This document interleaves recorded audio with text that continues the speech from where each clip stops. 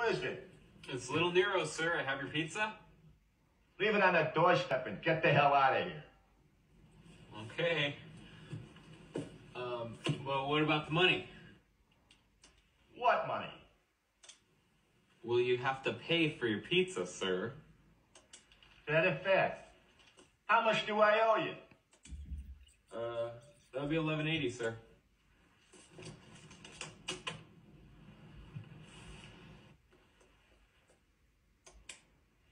Keep the change, you filthy animal.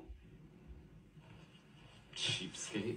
Hey, I'm gonna give you to the count of ten to get your ugly, yellow, no good keister off my property before I pump your guts full of lead.